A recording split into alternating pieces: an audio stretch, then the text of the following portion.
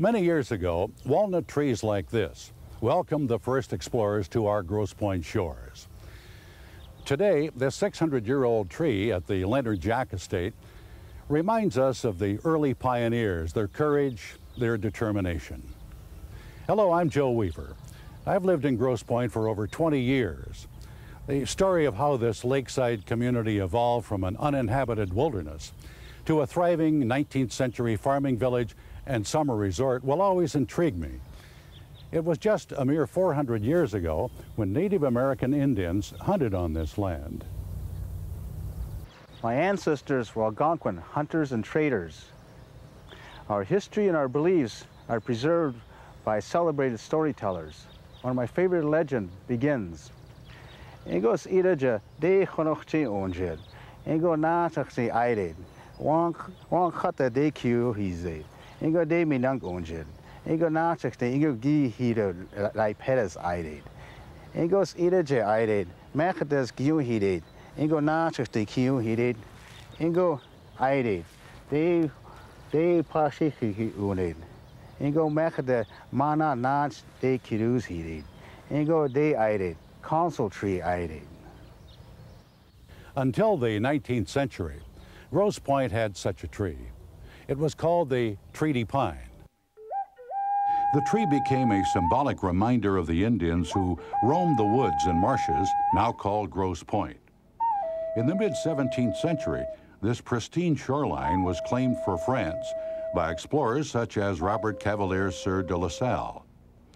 Instead of traveling traditional northern river routes from French Canada to the western frontier, La Salle chose to explore the lower Great Lakes. On August 12, 1679, La Salle sailed his ship, the Griffin, into a small boot-shaped lake bordering land eventually called Grosse Pointe. Indians had named the lake Atsakita, a variation of the Huron word for foot. La Salle's chaplain, Father Louis Hennepin, noted that August 12th was the feast day of St. Clare of Assisi and renamed the waters Lake St. Clair after the 13th century Italian nun. Hennepin wrote of his experience. This beautiful strait is fine open country. Many kinds of game are very plentiful, especially stags, hinds, wild turkeys, and bears. The rest of the land is covered with forests full of such fruit trees as walnut, chestnut, plum, pear, and apple. Among those who followed La Salle to Lake St. Clair were Quebec's voyageurs. These unruly adventurers in jaunty torques and bright sashes paddled the canoes of merchant traders licensed by King Louis XIV of France. Initially, the voyageurs rarely used La Salle's Strait but by the mid-18th century, their convoys regularly crossed Lake St. Clair, filled with European goods that were traded for Indian beaver pelts. In France, the pelts were made into stylish hats worn by King Louis and his courtiers. By 1701, Antoine de la Mothe Cadillac had royal permission to establish a fur trading settlement on the river south of Lake St. Clair. Once settled, he invited friendly Indian tribes such as the Huron, Chippewa, and Ottawa to camp nearby. The colony was designed to be a bulwark against the British fur traders from the east. Cadillac called his new post Fort Pontchartrain du Detroit, or Fort Pontchartrain of the Strait. Grosse Pointe was first mentioned in an official report detailing the Fox Indian Massacre of 1712. The document described how Fox and Mascouten Indians had descended on Fort Pontchartrain when its Indian allies were away. The Indians quickly surrounded the stockade, causing a major disruption to the fort's routine.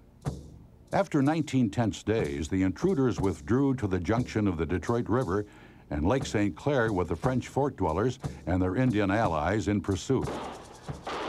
The ensuing battle nearly destroyed all the Fox warriors and only four days later, the French claimed victory. Grosse Pointe derives its name from the site of the Fox Massacre. For many years after the conflict, this uninhabited point and its surrounding Grand Marais were rarely visited except by occasional Indian hunters or illegal French trappers. It was the mid-18th century when habitant farmers, lured by subsidies from King Louis XV, ventured away from the fort's security to settle along the lake. Families such as the Trombleys, Rivards, and Renaults soon became neighbors of Michigan's first German settlers, the Yax. It is known that the couple, while living in Ohio, was attacked and captured by Ottawa Indians. They were separated and by chance reunited at Fort Pontchartrain before joining Grosse Pointe's earliest pioneers. This vanguard group, whether French or German, built homesteads near the water, cleared the woods, and soon harvested their first corn and wheat. Near their cabins, they planted apple and pear orchards. Tradition states that Grosse Pointe's pear trees were imported from France. But it's interesting to note that as early as 1679, Father Hennepin saw pear trees growing along the Grosse Pointe shore. Behind the orchards, habitant properties extended deep into the forest. These long, narrow plots, later called ribbon farms, gave each farmer ready access to Lake St. Clair and close proximity to friendly neighbors. Most habitants were gregarious and fun-loving. The men enjoyed racing their ponies along the lakeshore. Neighbors often gathered for conversation and storytelling. Habitant stories were always exciting. Legends often mixed religion with superstition. Monsieur LaForest will tell us a typical story recalled from those early days in Grosse Pointe.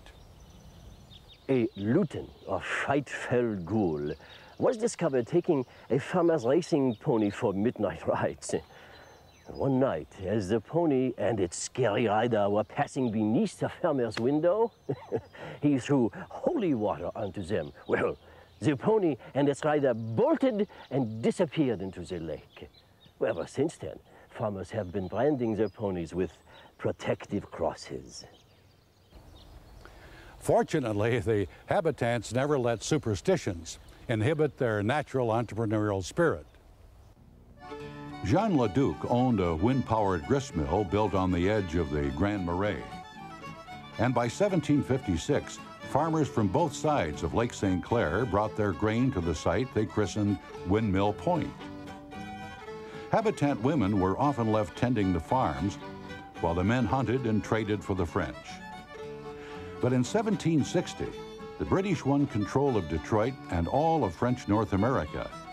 And three years later, the British successfully repelled attempts by the French-supported Indian leader, Chief Pontiac, to reclaim Indian territory. Meanwhile, French Canadians such as Nicolas Pananotra took refuge in Grosse Pointe.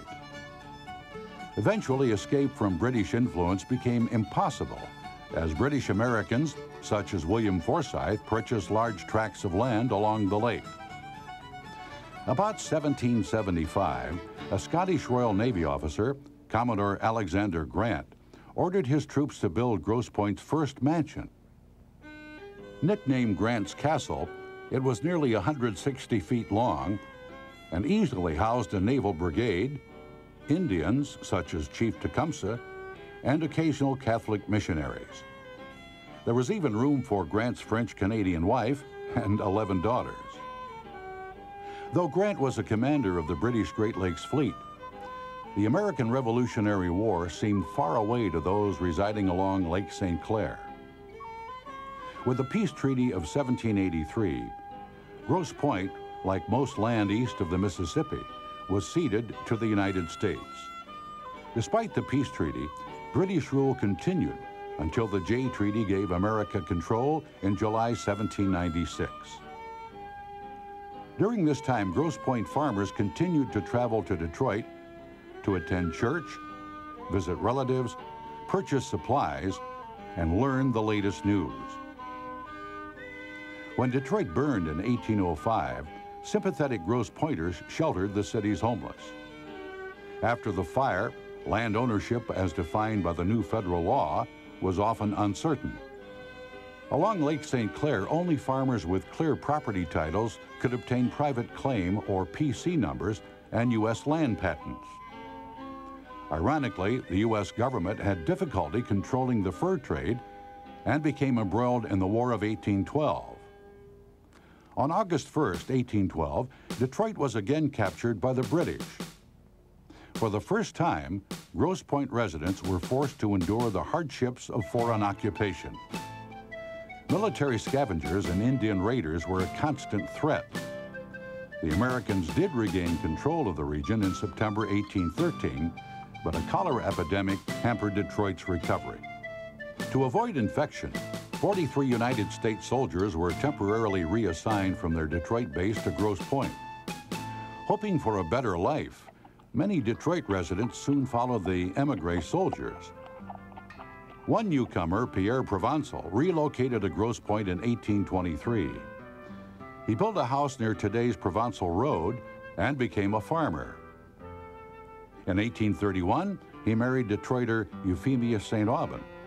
Together, they raised a daughter and several children orphaned by cholera epidemics. The Provençals were members of Detroit's St. Anne Catholic Church. Occasionally, they invited the pastor, Father Gabriel Richard, to conduct Mass in their parlor. In 1819, the first Great Lakes steamer Walk in the Water docked in Detroit. Six years later, the Erie Canal opening linked New York's Hudson River and the Great Lakes. Throngs of European immigrants and travelers journeyed to Michigan via this new route. Like others visiting Detroit in the mid-1830s, English writer Harriet Martineau traveled by carriage to Grosse Pointe. Her vivid impressions of the excursion were noted in her 1837 book, Society in America. The quiet Lake St. Clair. I have seen nothing in the United States like its level green banks the groups of cattle, the distant steamboats, scarcely seeming to disturb the gray surface of still waters. This is the first of many scenes in Michigan which make me think of Holland. Detroiters truly enjoyed visiting Grosse Pointe's sweeping lakeshore vistas and rustic roadhouses. Henry Hudson, a well-known roustabout, and his lovely wife operated a popular lakeside tavern. My husband's antics made him something of a local legend. I remember the time he learned of his impending arrest for unpaid debts. He told me to stand in the window above the entrance to our roadhouse, and when the marshals came, I was to throw a bucket of cold water on their heads. Well, I did. And those marshals, soaked to the skin, left in a hurry, without Henry. Fortunately, most of Grosse Pointe's new residents found more practical solutions to their problems. In 1825, Detroiter Louis Moran purchased the Alexander Grant Farm and divided the property between his youngest son, George, and his married daughter, Monique Campau. And during the mid-1830s, Michael Cadieux moved to Grosse Pointe. He obtained his ribbon farm when he married the daughter of landowner Charles Gouin. On January 26, 1837, Grosse Pointe residents celebrated with compatriots statewide when Michigan became the Union's 26th state. Many new residents, like their predecessors, were Catholic. Their first church, a log cabin dedicated to St. Paul, was built about 1828 near Vernier Road. By the late 1840s, the growing congregation moved to the parish's present location. The new clapboard church quickly became the community center for the established French-Canadian families and recent Belgian immigrants. New arrivals such as the Bakemans, Bryes, and Vanderbushes developed truck farms inland on the edge of the Black Marsh. As the population increased, so did the need for change. In 1848, the Michigan legislature approved the creation of Grosse Pointe Township. Its boundaries stretch from Detroit's Waterworks Park to the Macomb County line, and from Lake St. Clair to beyond Gratiot Avenue. In 1851, a few Detroit businessmen joined together and built the Grosse Pointe Plank Road. This toll highway followed along the Grand Marais shore to and from Detroit. It passed William Buck's new farmhouse, which was the first brick home built in Grosse Pointe. Though the Grosse Pointe Road was often flooded, a Detroit Free Press reporter wrote the following in 1859. One of the pleasantest drives out of the city to Grosse Pointe is now in good repair, and the cherry trees, of which the point is prolific, are in bloom. Grosse Pointe continued to be a favorite summer destination for Detroit families seeking respite from the city. Like Mrs. Fisher's Hotel, the Weaver House was a popular lakeside stop for picnics or chicken, fish, and frog leg dinners. From the late 1850s through the 1890s, family-owned fisheries flourished along the Grand Marais and at the foot of Moran Road. Members of the Trombley, Kirby, and Michie families supplied many Detroit homes and restaurants with muskellunge and whitefish. During the Civil War years, the fishing industry, like other businesses, floundered. Many Grosse Pointe men enlisted in the Union Army. Several, including Frederick Neff, joined the 24th Michigan Infantry, also known as the Iron Brigade. Wounded at Gettysburg, Neff described the war in one of many letters written to his wife. I am with the regiment again. I could not stay in the hospital. I could not bear the smell. Peter Rivard is very badly wounded. Joseph Rivard is slightly. The rest of us, Grosse Pointe boys, are all right so far. Even before the Civil War, several prominent Detroit families enjoyed vacationing in Grosse Pointe. The first summer resident was George Lothrop, a lawyer and eventual ambassador to Russia. In 1850, he purchased the eastern third of the Moran farm and built Summerside. Eventually, more Detroiters convinced farmers along the lake to sell their ancestral lands. In 1856, one of Lothrop's friends, Edmund Brush, acquired part of the Nicholas Benoit farm and built the Pines. Ten years later, Dudley Woodbridge, the son of Michigan's second governor, William Woodbridge, joined the summer colony as a gentleman farmer at Belle Meade. For the next three decades, ribbon farms continued to be converted into summer estates by wealthy Detroiters. Tucked behind their Victorian retreats were stables and working farms. Each June, children, domestic staff, and household goods were loaded into carriages and transported from Detroit mansions to Lake St. Clair cottages. During the summer months, busy executives traveled to and from their offices by private yacht. One group purchased a small steamer called Layla. The vessel left Grosse Pointe for Detroit each morning at 8.30 and returned each afternoon at 4.30.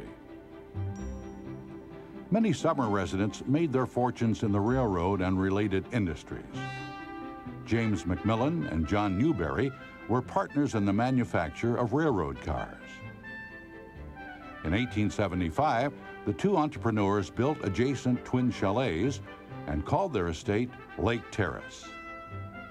By 1882, Henry Ledyard, the president of the Michigan Central Railroad, was summering with his family in a nearby shingle-style bungalow called Cloverley. The same year, William Kerr Muir, a retired railroad superintendent and art collector, moved into his new villa. He called it Atsakita, in honor of the Indian name for Lake St. Clair. By the end of the century, shipping magnate William McMillan had built an expansive colonial revival cottage overlooking the lake. He was soon followed by real estate developer Hugo Scherer. These magnificent dwellings and their occupants helped Grosse Pointe become known as the Newport of the Midwest. Life in the colony was a kaleidoscope of parties and special events. In 1886, the vacationer's favorite gathering place was the Grosse Pointe Club. Its turreted clubhouse, built on the site of the Fisher Hotel, had a long veranda suitable for summer socializing and spacious lawns ideal for sporting events. Because its membership remained small, the club was reorganized in 1888 and became known as the privately owned Grosse Pointe Casino. As the summer colony grew, so did its lore. Back in the summer of 1892, Henry Ledyard's two sons borrowed a small sailboat. The Ledyards maid vividly recalls that eventful afternoon. I was shutting the cottage windows due to an unexpected storm when I suddenly saw a wave swamp the boys' sailboat. Well, I quickly ran in and rang Mrs. Ledyard in Detroit, and she called her husband at his office. And he immediately dispatched his steam yacht to retrieve the boys. I've been told the family still chuckles about the boys' embarrassment when they reach shore and the waiting camera buffs. By the late 19th century, a national fad for photography also swept through Grosse Pointe. According to an 1892 Detroit News article, Everyone in the Happy Grosse Pointe set has been snapped. The cyclists, the pretty girls, the lazy men who dote on the hammock and the siesta, groups on the lawn in careless attitudes, groups at the boathouses, eager fishermen, lithe tennis players. Life for the summer people was not entirely frivolous. T.P. Hall, a retired commodities broker, often held literary gatherings at Tonnancour, his rambling lakeside estate. Two of Detroit's local historians, Silas Farmer and Marie Caroline Hamlin, were frequent guests of Mr. Hall's. Some cottagers were active in village affairs. One group helped to organize the area's first Protestant congregation, the Grosse Pointe Protestant Evangelical Association. In 1867, the association built its lakeside church on property donated by villager Rufus Kirby. As the hamlet of Grosse Pointe evolved, more farms were sold, and families moved to homes on rural lanes such as Kirby and Lakeview. Some men became gardeners or tenant farmers on summer estates. Some worked at Clairview, a Jersey stock farm and showplace owned by Detroit drug manufacturer George Davis. Others learned to be shopkeepers and carpenters. Their children attended one-room schools run by fractional school districts. Students were taught to read and write in buildings like the Cook School on Mack Avenue. In 1885, the Sisters of the Sacred Heart opened a young ladies' boarding school next to St. Paul Catholic Church. A year later, the cloistered order added a free school for local Catholic children. Grosse Pointe's population continued to grow creating a need for a more defined infrastructure. In 1879, the village of Grosse Pointe was formed. Its boundaries stretched from Fisher Road to Provençal Road and from Lake St. Clair to Mack Avenue. Within 10 short years, the village's western boundary was extended to Cadieux Road. The expansion continued as more building sites became available when Detroit developer William Moran began draining the marshy Windmill Point area. To provide lakeside estates with water, a pumping station was erected at Moross Road. And in 1893, when the summer people tried to make Lakeshore Road into a separate municipality, the residents inland were very unhappy. As a compromise, the village of Grosse Pointe was divided in two at Fisher Road. The eastern part became the village of Grosse Pointe Farms. Other municipal changes would soon follow. In 1894, the Protestants, now known as the Grosse Pointe Protestant Society, moved from Kirby Road to the new little ivy-covered church adjacent to the Grosse Pointe Casino. And in 1899, the growing Catholic population moved into a larger neo-Gothic style church. At this time, it became imperative that residents had access to convenient public transportation linking Grosse Pointe with Detroit. Since 1888, trolleys carried them to and from the city. And in 1891, summer residents George Hendrie, William Moran, and George Davis constructed a direct route along Jefferson Avenue to the station at Fisher Road. When an extension along Lakeshore was proposed, cottage owners objected. After much debate, the courts decreed that trolleys between Fisher and Provençal roads were to run behind the cottages along Grosse Pointe Boulevard. In 1898, a new trolley line nicknamed the Interurban connected Detroit with Mount Clemens via Grosse Pointe. That spring, local improvements were overshadowed by the Spanish-American War. Spurred on by Detroiter Russell Alger, who was President McKinley's Secretary of War, young men from the summer colony sailed away aboard the USS Yosemite to blockade Puerto Rico's San Juan Harbor. In August, the Spaniards surrendered and the sailors returned home triumphant. Young officers such as Truman Newberry and Strathearn Hendrie quickly readjusted to civilian life. In the summer colony, social activities still centered around the newly opened Country Club of Detroit. Since April, the new club had occupied the former Grosse Pointe Casino and grounds. Improvements included construction of an 18-hole golf course on land leased from club member Joseph Berry. Harbinger of the future, Joseph Berry and his daughters were the first and for almost 20 years the only prominent Detroiters to live year-round in Grosse Pointe. In 1882, Detroit architects Mason and Rice designed his new home called Edgemere. Berry's estate was surrounded by expansive greenhouses and magnificent lakeside gardens. Like many late 19th century businessmen, Mr. Berry became a legend. His early experiments on his mother's stove produced the first batch of his famous hard oil finish varnish. This discovery, plus his investment in real estate, lumber, and flypaper, made millions. Other families, including the Joys, the Newberrys, the Dodges, eventually followed Mr. Berry's lead and built expansive year-round estates facing Lake St. Clair. During the first few decades of the 20th century, these automotive pioneers and industrialists helped transform Grosse Pointe from a rural village and Victorian summer resort to an elegant Detroit suburb.